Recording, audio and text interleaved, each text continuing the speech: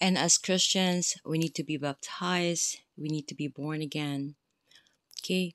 We need to have that confession on a day on a on a weekly basis, if not, you know, daily basis, right? We have to repent to God, confess to God, and ask for forgiveness on a daily basis, right?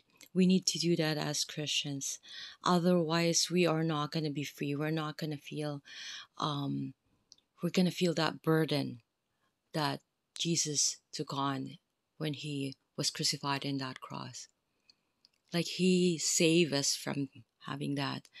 But after believing, after accepting him as your savior, it doesn't end there. Right? We know that God is a loving God. We know that He loves us and He will provide for us, but there's rules right?